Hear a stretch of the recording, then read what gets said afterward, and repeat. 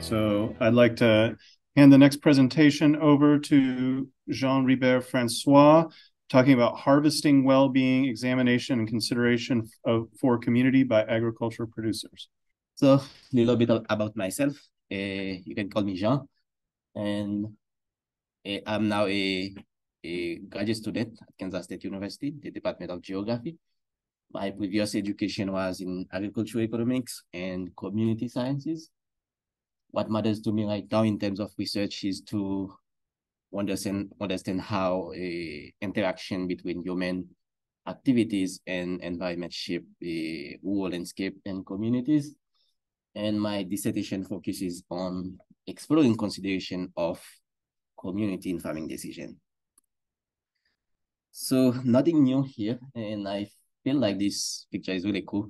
Uh, that is the, uh, the SARE model of sustainability that talk about the three pillars of sustainability. They have people, protection, and profit.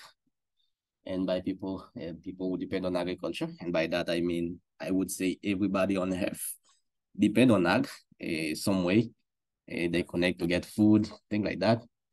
Uh, some people connect more directly to it, but every one of us uh, connect to, to agriculture.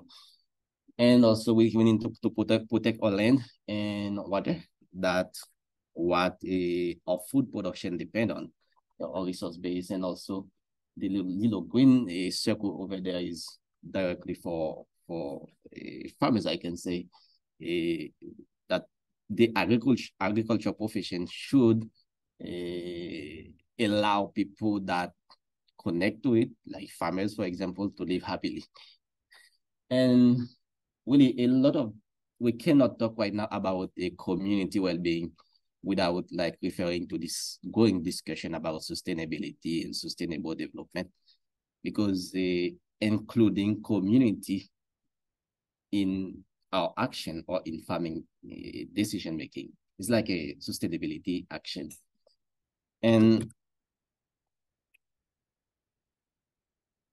the, it, there's a lot of uh, discussion about sustainability and sustainable development and a lot of this discussion, whether it's in the academic space or in organization, they consider or they feature well-being as an outcome for sustainability.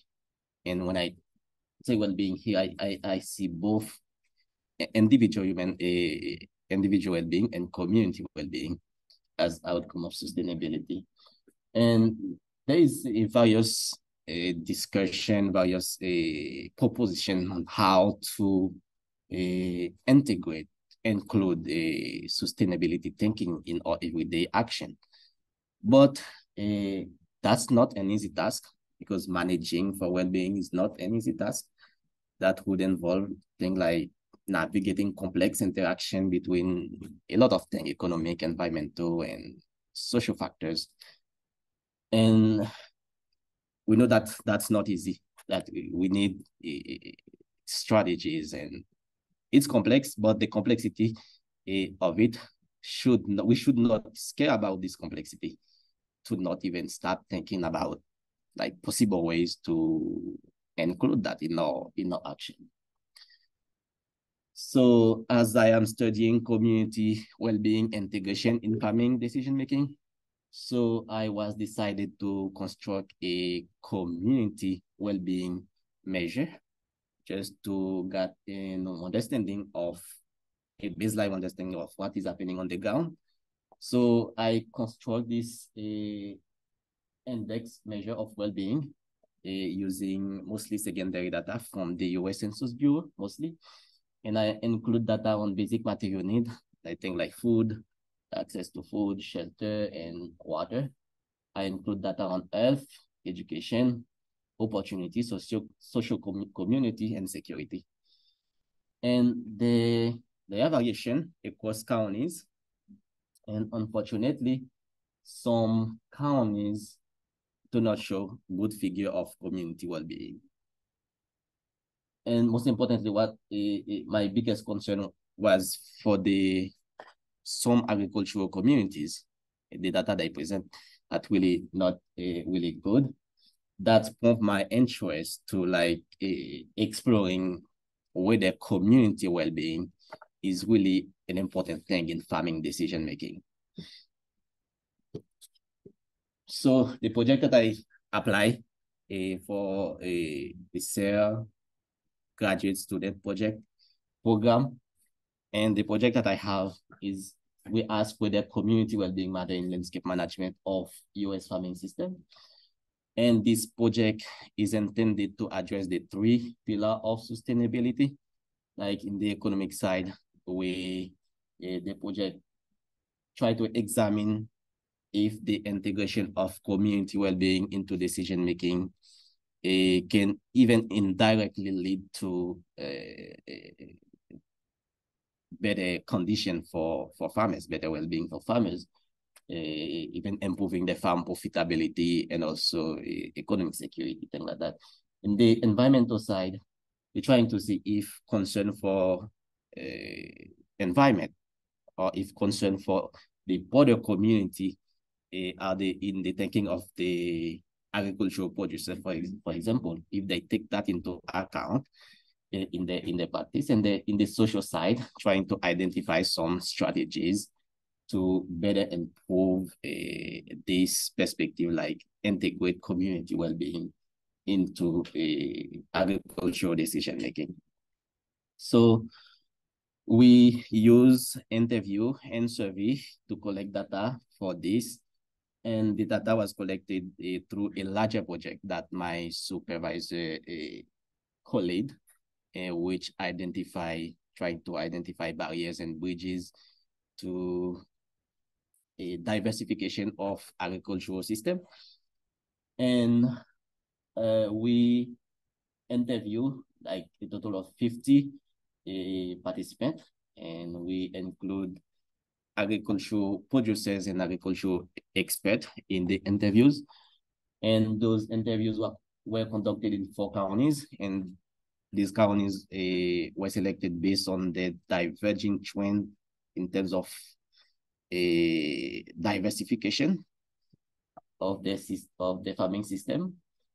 And we ask a lot of questions related to community integration into farming decision. For example, uh, there is one question that uh, asks farmers to provide example of things they avoid in the in the farming practice because they think this would have negative impact on the community or think they they uh, added in the in the practice because because they think this would have positive impact on the community. We have a, a lot of questions uh, like that in the interviews, and we use data from the interviews to design the, sur the survey. Uh, and the survey was conducted, it was like uh, 35 counties. So far, we got one 107 a valid case from for, for this survey. And the demographics, like the for this survey, it's like a majority white, a older male, which is not different from a, a lot of things that is done in the literature. And yeah, this picture uh, you can show how the distribution of this this the, the, the count but we we we uh, we do the survey, and those buffer in red is at the counties where we conduct the, the interviews. And we got several insight, interesting insight from the from the interviews, and that kind of showed there is a shift in paradigm now in terms of how uh, how uh, farmers or, or agricultural producers they consider community in in in the decision making. For example, I have uh, this perspective from one participant that that try integrate, for example, the community health. Uh, they consider that, that in the in the decision making, trying to like uh, avoid to use some chemicals that they think that would be bad for the community, things like that. But that show that suggests that uh, there is they are conscious about it. Uh, uh, they're conscious about the consequences of the of the practice on the border community. So they take action for that. That's really great. And another consideration that pop up from the interviews is like a resource management, a resource usage.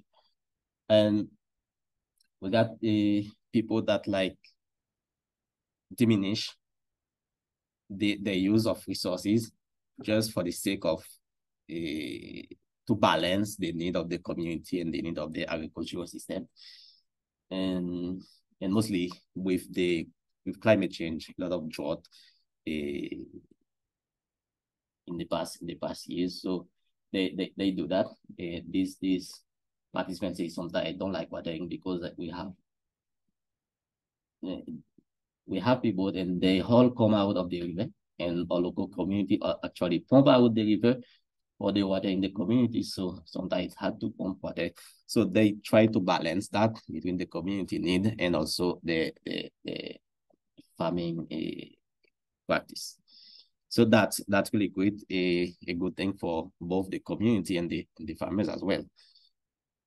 And supporting the local community and fostering the a community relationship, local a community relationship appear emerge as one a consideration that uh, farmers express in the in the interviews. Like a lot of farmers, they say they prefer buying things locally instead of seeking external a source. And also, whenever possible, they try to sell their product locally whenever possible. And that, that is cool. Uh, these these uh, these participants say I like to patronize the small town, the businesses in the small town, and I'll be honest, yeah, that's that's really important. They they they they are conscious about what is going on right now in terms of economics and see a lot of presentation this morning that talk about declining rural communities. So that's gonna be something uh, for, for, for this place. And also community engagement and participation, that another theme that emerged from the discussion with farmers. And a lot of people, they getting involved in, in, in community activities and, and for example, this, this farmer provide his perspective about getting young people engaged, educate them, uh, transfer agricultural knowledge in the community, and to support not only uh, the present but also the future of agriculture. So that's really great to to see how they consciously consider community uh, well-being into their decision making. And I can say this is a paradigm shift because a lot of things you see in the literature, you can see a really a, negative aspect from the farming, from from farming to community. But that really surprised me how I can get all this uh, story uh, from from the farmers. And we got some uh, result from this survey, and these are just preliminary because we we keep uh, getting a survey participant, and we ask farmers just this about the the well being. We ask them uh, if they are satisfied with their level of autonomy, for example, being their own boss. And uh, most of them, they feel like they satisfied with the level of autonomy. And also we got the same figure with when we ask about the time spent with family and also the the quality in life, quality of life in general. And most of them, they say, yes, eh, we satisfied with that. Uh, where we got some concern is like a, a good number of farmers that say uh, we, we're not too much satisfied with our net income.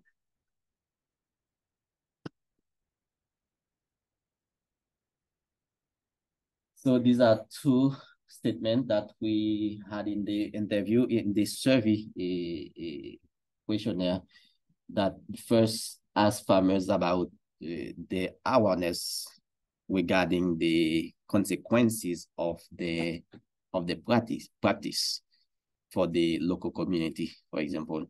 And we seek the level of agreement among the farmers, and they are quite a strong uh, level of agreement uh, about this. They are aware that the practices may uh, impact negatively or positively the community, and because they are aware of that, we ask this question if they take the, the community into consideration.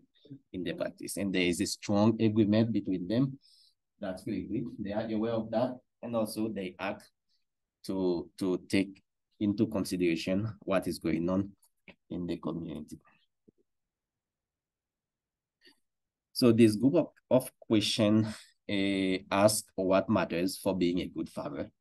Uh, like in high yield and high profit, these two type is like a really a traditional thing, like being maximizing profit and and uh, like that. But uh, with this question here, trying to balance economic gain and environmental consideration, you can see a lot of a lot of the participants they say yes, we try to that's important for us right now. And also this is a question over here uh, that try to see the long-term perspective versus short-term perspective. A lot of people they say yes. Uh, we try to consider the long-term in our back in our uh, in our business. Uh, they they are trying to look at the the future generation, and a lot of them they say yes. We take uh, the community health. Uh, this is important for us in our practice uh, to be a good farmer right now.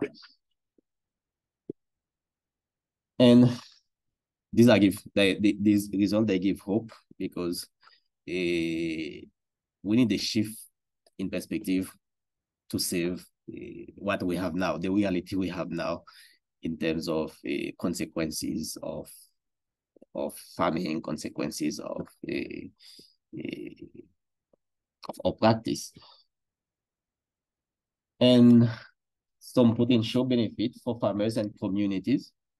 Uh, I mean, here for uh, consider considering community well-being into decision making, that has some potential uh, benefit for both farmers and and communities.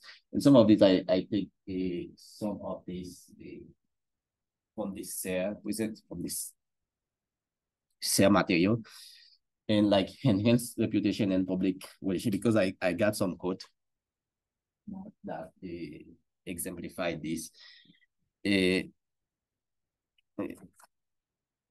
enhanced reputation and public relation when the the farmer, for example, they try to consider the community in their relation, uh, get active in the community, things like that.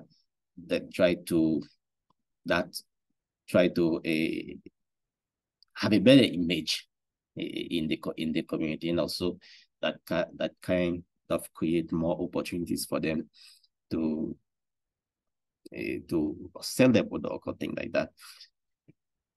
And also that kind of help them collaborate, have more people to collaborate with policymakers and researchers and even among farmers as well when they want to, that, to do that. And the overall objective, the enhance farmer well-being when they when they uh, try to integrate community in their practice because having strong tie in the community that is something really important to improve uh, well-being.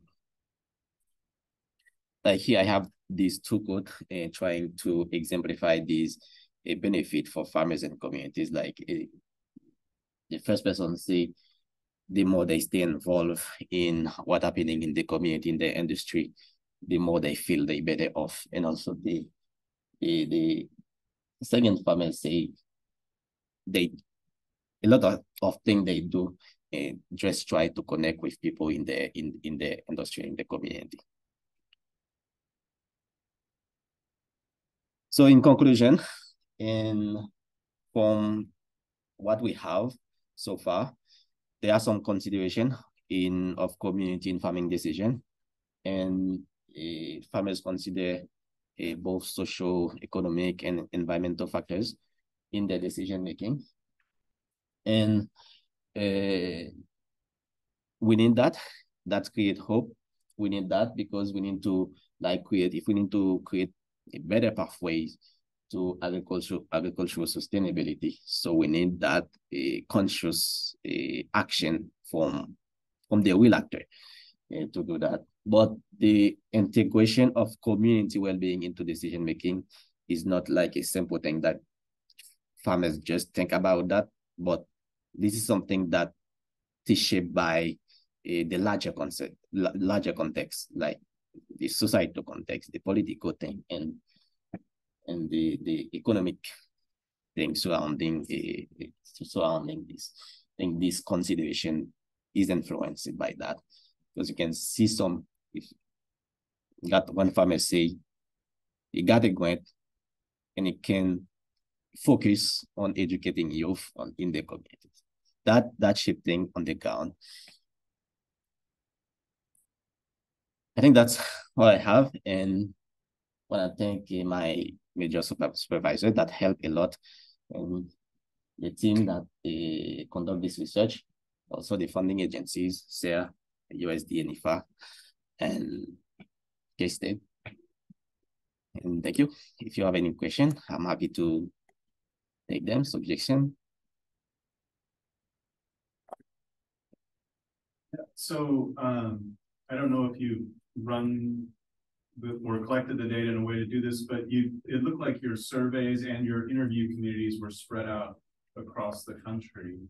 Were there any, I don't know, regional effects that you noticed in terms of like this region, the farmers are more concerned about the community well-being? You know, was there anything like that, or was it just kind of even across the board? Yeah, yeah, cool. Eh, that's that the analysis we are trying to do, and uh, we do not get to that right now, but we are trying to do that uh, to see if there are difference between a system, okay. if they consider that.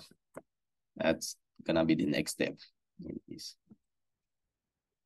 I don't know if a question will come from it, but more comment. I'm really, really grateful for your idea to do this and to put it out like that because I think that quantifying uh, qualitative reasons why we're farming is so important and it makes me want more players in the big ag world to um, like be doing this research and to be paying attention to it and to understand that um, yeah farmers want to be good impactors on their community. And just brought up the last session I went to the Peace Pipeline building and um, the teacher there, she's a professor, but is indigenous and talked about the framework of um, even the previous session of water rights versus water responsibility and framing things as resources versus responsibility. And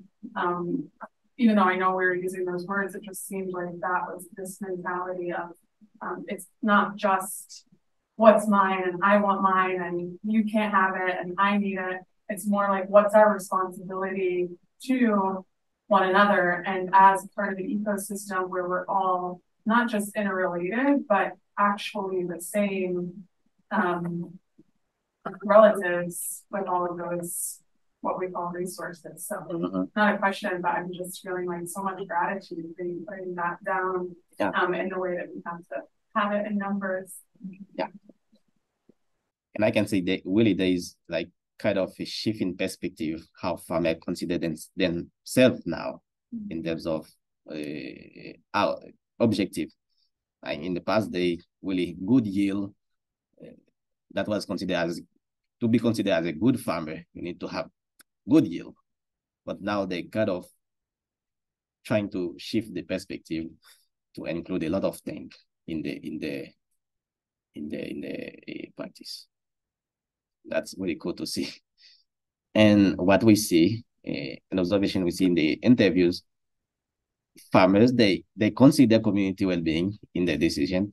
But when we do not ask them if they consider that, they do not provide that as a consideration in their practice. They more focus on market, on the economic part of it, uh, climate change, for example, instead of will think they do in the community.